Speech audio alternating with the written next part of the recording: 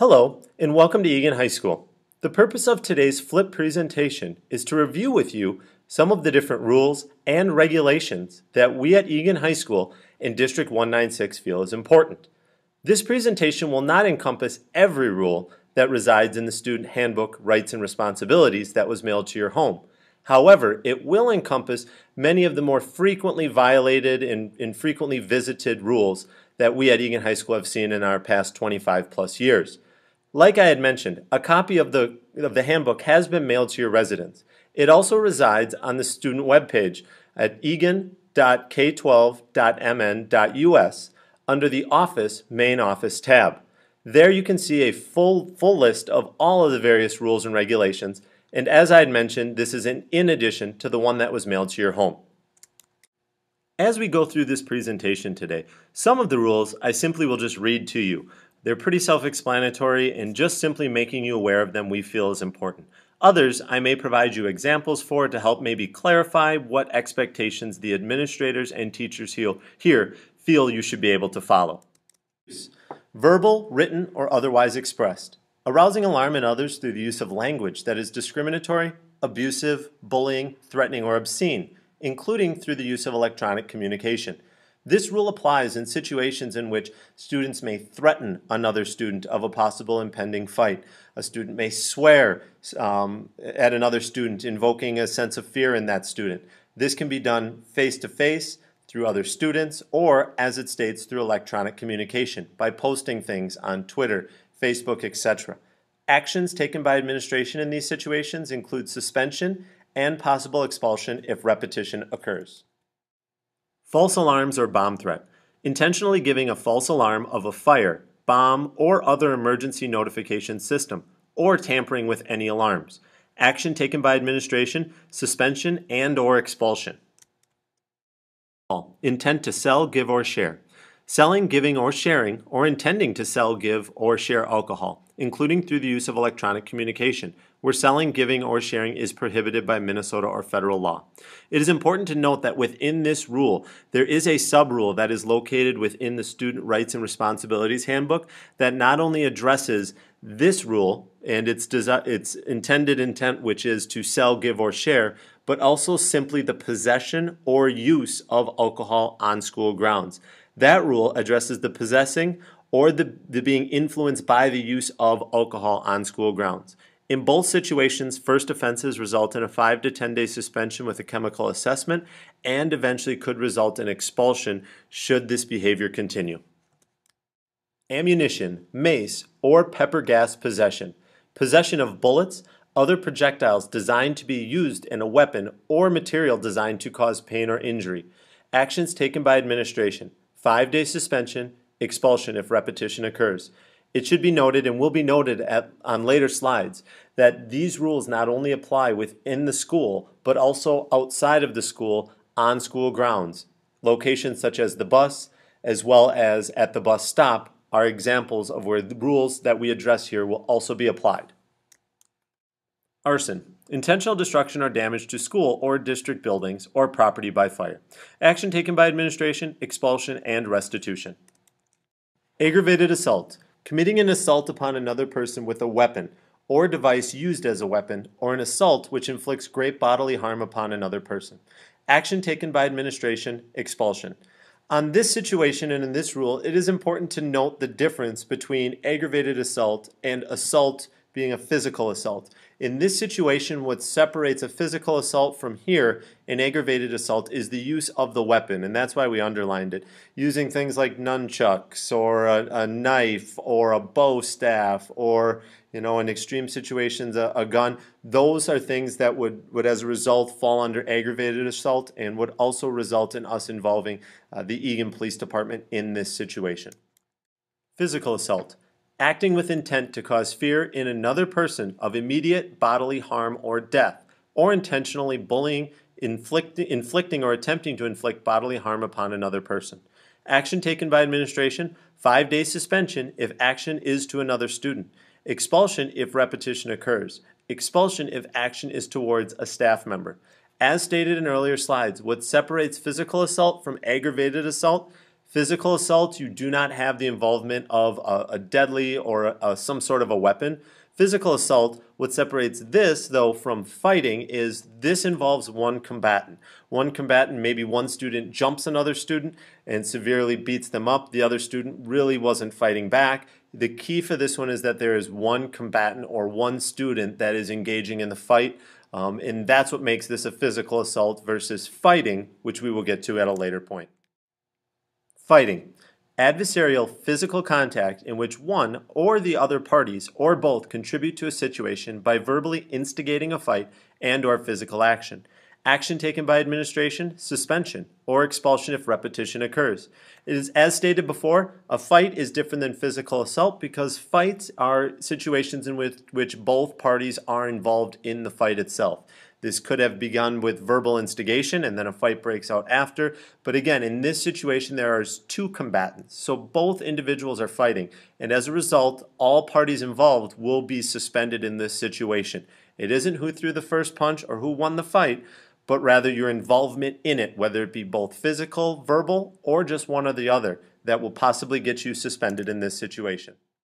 Burglary entering a building or a specific area of a building without consent and with intent to commit a crime, or entering a building without consent and committing a crime. Action taken by administration, expulsion, and restitution. Inflicting bodily harm. Committing a reckless or negligent act that inflicts bodily harm upon another person. Action taken by administration, detention, three day suspension or more should the behaviors continue. It should be noted here that when this rule is applied, it does not always mean that the individual intended to harm another classmate. Sometimes it's jokes that maybe went wrong or they were messing around and somebody got hurt. The intent to actually hurt somebody is not here when this rule is applied, and oftentimes there was no intent. It was an accident. However, the individual is hurt and the rule must be applied nonetheless. Chemicals. Intent to sell, give, or share. This rule is separate in the student handbook than the alcohol rule that we reviewed earlier. However, it should be noted that basically the two, two rules are really for the most part pretty similar. However, they do basically hold two separate separate markers in the actual student handbook, so you can review that for, for full details on both rules. However, uh, if we get to this rule, selling, giving, or sharing chemicals or drug paraphernalia, it should be noted right away that just simply sharing it, it does not does not have to be sold.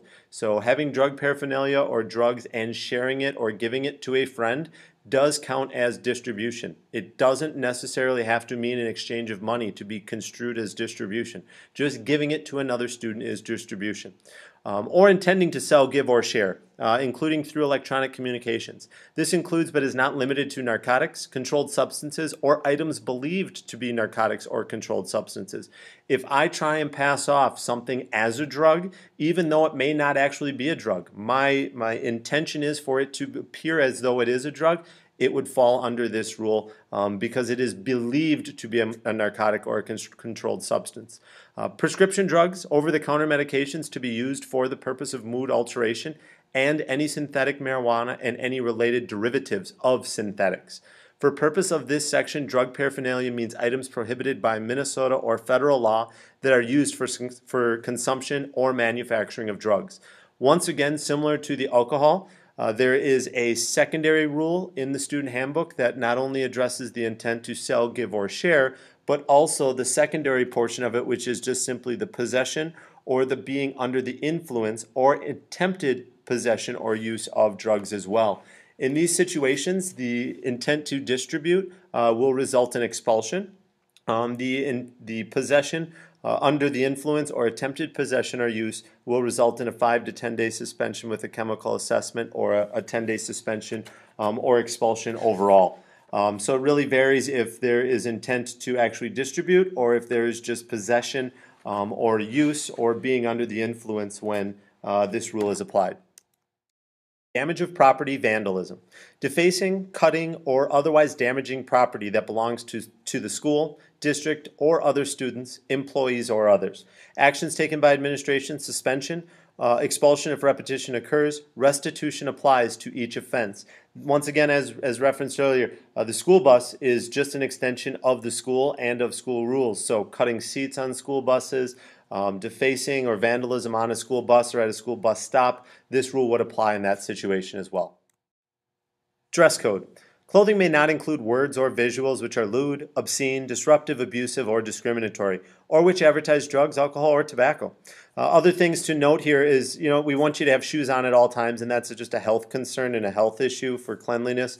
Uh, also, I understand during the holidays like Halloween, uh, you want to wear face masks and you want to dress up. Um, you can't. We need to be able to see your face at all times. That's a security measure more than anything. We need to be able to see who you are um, and at least be able to recognize and see your face. Actions taken by administrators, uh, warning, and uh, obviously you must change your clothes after the first offense and possible suspension if repetition or if there's repeated offenses.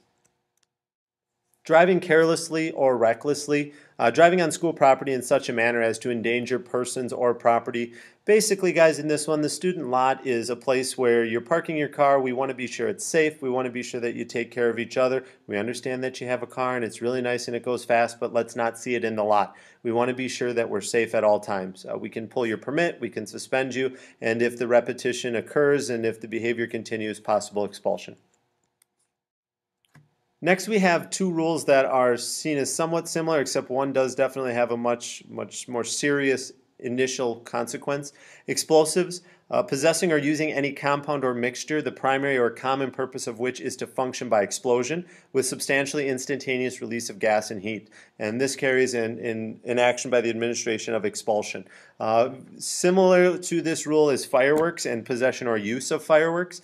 Uh, you can't possess any fireworks, you can't have them, you can't obviously use them in school. Anything that produces a loud sound or the visible effect uh, will fall under this and uh, could result in a suspension or an expulsion if the repetition occurs. Gambling, playing a game of chance for stakes. Action taken by administration, warning on first offense, possible suspensions, and eventual expulsion if repetition occurs. Harassment. Things to note before I get into the actual rule of harassment is that one of the, the things with harassment is that it's in the eye of the beholder. So, in situations where an individual feels they are being harassed, the individual or the harasser oftentimes will feel that they have not harassed another student. Again, it's the student who is receiving the harassment, and if they feel that it is in fact harassment, in that situation, this rule will be applied. Uh, so always tread lightly with this. When you're looking at a situation, think what would a reasonable person think? Would a reasonable person, an adult, feel that what I'm about to do be a harassment? Not yourself, but a reasonable person. With that being said, harassment in the district and at Eagan High School is viewed as participating in or conspiring with others to engage in acts that injure, bully, degrade, intimidate, or disgrace other individuals, including indecent exposure, displaying pornography, and harassing words or actions that negatively impact on an individual or group because of their characteristics, including through the use of electronic communication um, sending video text and picture text, etc. Um, harassment based upon an individual or group sex, race, color, creed, religion, disability, national origin, marital status, age, sexual orientation, or public assistance status shall also be handled in accordance with the Minnesota State Statute 503.4 AR, harassment, discrimination, violent, or hazing by a student, uh, which is on file with the district office. Hazing committing an act against a student or coercing a student into committing an act that creates a substantial risk of harm or holds a student up to ridicule in order for the student to be initiated into or affiliated with a student organization, group, or club. Actions taken by administrator, suspension, then expulsion if repetition occurs. Insubordination. Insubordination basically is a a lack of willingness or refusal to follow a, a pretty basic, easy direction or directive um, that is given by a staff member. Staff members include teachers, secretaries, substitutes, administrators, bus drivers, custodians, etc. When they ask students to do a very basic task, what's your name? Can you follow me to the to the main office? Uh, can you stop doing that, please? Maybe it's something in the hallway. They don't have to be your teacher. They are a staff member, and you must follow and, and listen to them. We're good people here at Eagan High School. We listen to each other. Uh, we follow basic directions. And a lack of following basic directions is viewed as insubordination, and you can see the actions that can be taken by administration below. Incendiary devices, unauthorized possession or igniting of matches, lighters, or other devices that produce flames. It should also be noted again that in the student handbook uh, that igniting combustibles, um, whether it be intentionally igniting combustibles, liquids, or other items that cause a disruption or an unsafe environment also fall within this rule and result in suspension and eventual possible expulsion should the behavior continue. Nuisance devices, causing a nuisance with objects that cause distractions such as headphones, laser pointers, digital recordings, and or sharing of those recordings without staff permission is prohibited. Please note here that the use of a camera is prohibited without staff permission, and actions taken by administration would be detention, uh, suspension on a second offense. Um, things that have been included in the past, things like radios, uh, as stated, uh, laser pointers, Cell phones vary by class and for the purpose of the class, um, but can be viewed as possible nuisance devices. Pornography. Possessing, creating, or accessing sexually explicit material, including sexting or through the use of other electronic communication. Please note on this rule that possessing any images that are inappropriate on your phone and then forwarding them to other students could result in this rule being applied to you even though maybe an individual willingly sent those images to you, redistributing those images could be seen as, as using the electronic communication to further pornographic images uh, throughout the building and throughout the school. Actions taken by administration, possible detention, suspension on the second offense. Record or identification falsification. Most frequently, we see this rule applied when students forge parents' names on notes or passes to get out of school, like a doctor's note, and they sign their own parent's name on permission slips, on things of that nature. Uh, but understand that possible action by, by an administrator could be detention or a suspension for a second offense. So be sure when needed you get the proper signatures. Don't falsify any information. Robbery or extortion. Obtaining property from another person where his or her consent was induced by use of force, threat of force, or under false pretense, including through the use of electronic communication. Simply stealing something or taking something from a person, or taking something from a person um, where they give it to you. However, the reason that they give it to you is you basically extort them or you threaten to hurt them or do something to them should they not give it to you um, is not allowed. Actions taken by administration, five day suspension with restitution or possible expulsion if that, uh, that, that behavior continues. Theft or knowingly receiving or possessing stolen property. Basically, taking another person's items, having stolen items, even an individual who knows somebody stole something, maybe a friend says, Can you hold this for me? Holding that item for an individual where you know that it was stolen. You may not have stole it yourself, but a friend did and you're holding it for them. You are knowingly receiving stolen property. We understand you didn't do it. However, you are helping that crime to be committed and you are preventing justice from being upheld in this situation by possessing that stolen property.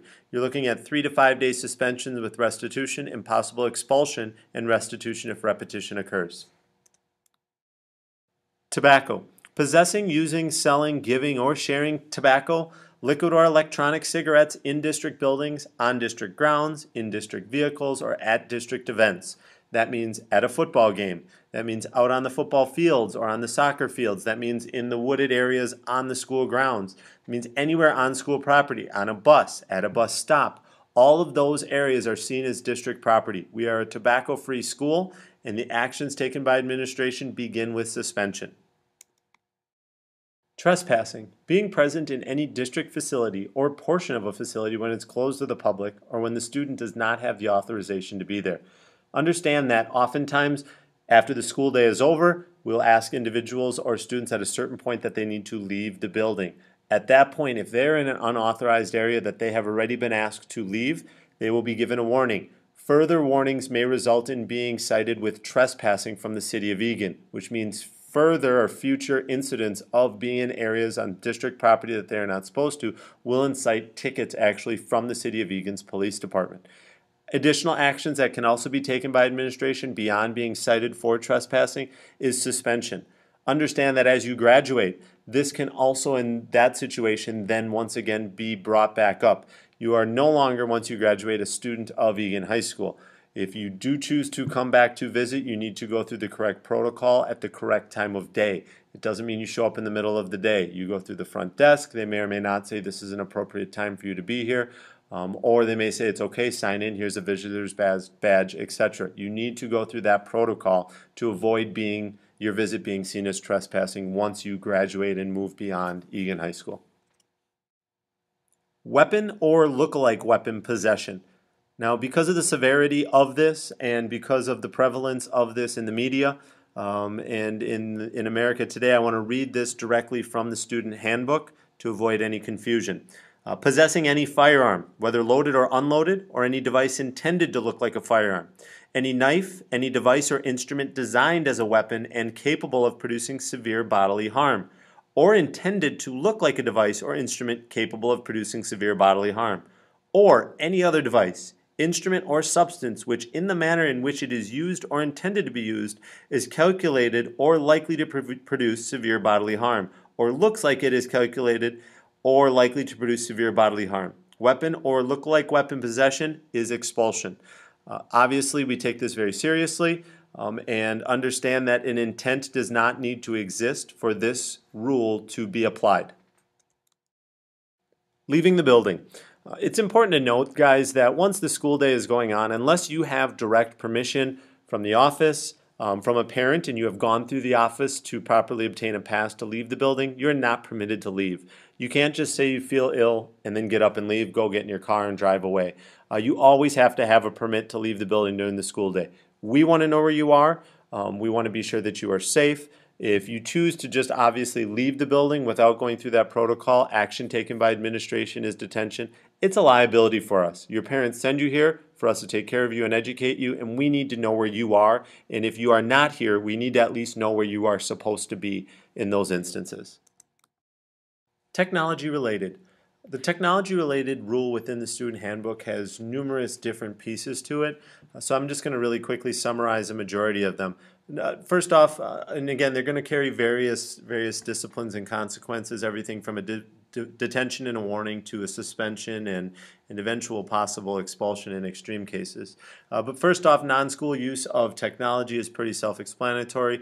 Uh, next up, unauthorized adding or altering of hardware on a workstation or server um, or damaging of property in the process of attempting to do so. Um, next up, uh, possession of obscene, vulgar, or ex sexually explicit material using technology. Um, and we addressed a lot of these in the pornography uh, rule that we discussed earlier, including things like sexting or through the use of any electronic communication or device. Um, uh, any unauthorized access or activity in a secure area of computer or network uh, through the use of the electronic communication or device. Um, any violation to the acceptable use of information technology. Um, and then a, kind of a bigger part of this is the cyberbullying, um, which is inappropriate use of technology such as but not limited to personal websites or web pages where other students and or staff members are verbally abused, uh, verbally assaulted, bullied, defamed, threatened, harassed, or terrorized. And the conduct impacts the ability of the school to maintain order and discipline including through the use of other various electronic communications. Discipline may result uh, basically whether the conduct takes place from a person, personal or school computer or any other electronic device or during or after school hours. Students may also be disciplined under other qualifying categories um, as we've discussed before. So because, just because you bully a person um, electronically from home, um, outside of the school day, on the weekends, or using your phone does not excuse that behavior and it would fall under the cyberbullying portion of the technology related uh, rules which is in the student handbook. Bullying. Bullying has been in the news quite frequently and has been addressed up at the state capitol in St. Paul, and there's current laws and statutes on the books regarding bullying. Um, the district stance on is that we abide by all of the statutes that have been laid out by the, the capitol and by the, the state of Minnesota.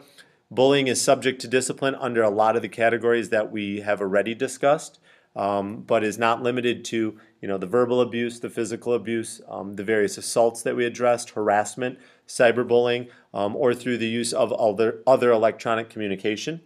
Um, the discipline that would be incurred would be the discipline that the the action actually fell within. So was it cyberbullying? Then that discipline would be would be abided by. Is it the harassment? Then that discipline would be uh, abided by. But bullying in this case is just kind of an umbrella term for a lot of the things that we have discussed already. And again, we just follow the Minnesota statute uh, based on that. School transportation. A couple things to note with school transportation. Uh, number one, all school rules apply on the bus, they apply at the bus stop. Your school day actually begins not when you enter the building, but if you ride the bus in the morning, when you get to your bus stop, the school rules apply. If you are seen smoking at the bus stop, school rules apply. If you get in a fight at the bus stop, school rules apply. You get the point. Uh, that school day will continue all the way through the end of the day when you are walking away from the bus stop. So it's important that you really understand that, that all of the rules we visited that are in the Student Rights and Responsibility Handbook apply when you're on the bus and at the stop as well as on any school grounds. It is also important to understand that riding the school bus is not a right, it's a privilege. And the school district does reserve the right to take that privilege away. If you are not following school rules on the bus or at the bus stop, they do not have to provide you transportation. So it's important for you to understand that. In addition, obviously there's no eating or drinking on the bus. You can't tamper with any of the safety equipment on the bus, no throwing uh, or shooting or spraying objects or propellants out of the bus or on the bus um, no use of, of nuisance devices on the bus, and there's uh, several other rules that are located in the, the student handbook, which once again were, were, was mailed to your home and is located online as well. Uh, action taken by administration, it depends on the type of infraction, but in the end, they could suspend you, they could expel you, they could simply, you know, just take away your right to ride that bus. We felt that it was important to address uh, another issue, even though it's not necessarily a rule, but to make sure that everyone was aware um, that when you are on school grounds, again, the bus, the bus stop, or, or the school itself, uh, you, you may be asked to be searched by an administrator. Minnesota state statute gives administrators that authority to search you, um, provided, however, reasonable suspicion exists. Now, that is a lesser level of standard than probable cause, which is needed by a, a, police officer. So on a school grounds, it actually takes less proof for us to search you than if a police officer were to need to search you um, out in public. We may search your backpack, we may search your locker, your cell phone, your car, your person, asking you to turn your pockets inside out, take your shoes off, take your socks off, uh, just being sure that you don't have any drugs or weapons or anything like that for safety. Um, understand if you refuse to consent to a search, the school official may still conduct that search as long as there is reasonable suspicion to justify it. Uh, so again, we want to be sure that school is a safe place. You have to come here. And as a result, because you are forced to be here, there is a higher level of safety that needs to be assured to other students, and as a result, a greater level of leeway is given to administrators and staff members to search students should they deem it necessary and should reasonable suspicion exist. Finally, the last thing that we need to talk about today is an attendance policy that District 196 has developed. It's important that everybody listens up really closely to this one because potentially this could affect your ability to earn credit in classes. District 196 attendance policy. Chronic absenteeism is defined as missing more than 10% of school days for any reason. At EHS, this is equal to 6 days per trimester, or a total of 18 days over the course of a year. School attendance is important for both academic and social development. Students are absent from school at this rate, the 10% rate, miss out on the valuable learning activities that take place in the classroom, both with teachers and with their peers. While that student who is absent may complete some or even all of their missed work, the learning experience is greatly altered uh, overall. We understand that there may be circumstances that prevent students from attending. However, we expect those absences to be limited. As a result, District 196 has developed an attendance policy this attendance policy looks as such. After six absences, a warning letter will be generated by the school and sent to the student's home. The letter notifies the student and their family of their chronic absenteeism. If the absenteeism continues, at the point of 10 absences in any given trimester, a second letter will be sent home. This letter requests a meeting to be organized. The intervention meeting with parents, students, and administrators, and based on the situation, other individuals like counselors or case managers may also be invited. At that meeting, the stakeholders will come to an agreement and will create and sign a contract that will focus on improved attendance moving forward. Additionally, individuals who have reached the 10 absences mark will not earn a credit in any courses with which they have had 10 absences at the end of the trimester. They will receive a DC or a delayed credit. Now, moving forward, if they abide by the contract created at the intervention meeting, they will eventually receive the grade that they had earned that trimester. However, if they violate that contract, they will not earn their grade, and that DC or delayed credit will become an NC or no credit, meaning that they will need to take summer school or attend Eagan Academy to obtain that credit. So, what this means is if I'm a student and I'm absent six times in a trimester, a letter is going to be sent to my family and to my, my house notifying my family of my absenteeism. However, if after receiving that letter my absenteeism continues, at the point of 10 absences, my parents are going to get another letter and they're going to have to come in. I'm going to have to come in. I'm going to have to sit down with an administrator, possibly my counselor, and we're going to develop a plan of why I can't get to school. Secondly, at the end of the trimester, if I was if I had 11 absences to first hour, which was my math class, I'm not going to get a, the grade that I earned in my math class on my transcript. So if I had a B at the end of the trimester, I'm not going to get my B. I'm going to get a DC or a delayed credit.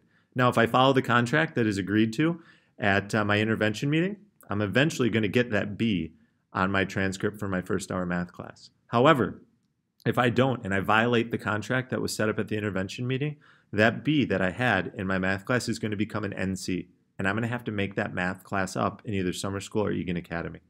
So this is the process that was laid out and developed by District 196 and will be used in all high schools. I'd like to take this opportunity to thank you. I know that this is long, it isn't exciting, there's a lot of other things we'd rather be doing, but here at the first day, uh, we want to be sure that everybody gets all the rules and gets all the information that they need so everybody starts out on the same level playing field. Uh, we have our three administrators here that primarily deal with behavior Mr. Jameson, Ms. Headland, and Mr. Thompson. They want to see you for good things, not for bad things. With that being said, if you need something, they are a great resource to go to. If you have a question, if you're encountering something, they, they definitely can help you out. Again, we hate to start off this way, but we just want to get everybody the information. We want to officially welcome you here to Eagan High School. We're happy you're here. We're happy you're a Wildcat. We got high expectations, and that's because you guys are great kids. So have a great year, and thank you.